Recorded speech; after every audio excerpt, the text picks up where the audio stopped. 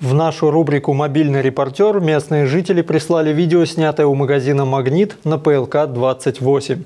Два дерева, которые растут вблизи здания, внешне вызывают волнение. Их стволы растут к земле под углом примерно в 45 градусов. Жители обеспокоены тем, что они могут упасть.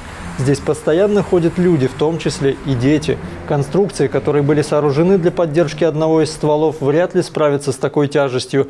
Если дерево начнет падать, оно с легкостью снесет это на вид не очень надежное сооружение.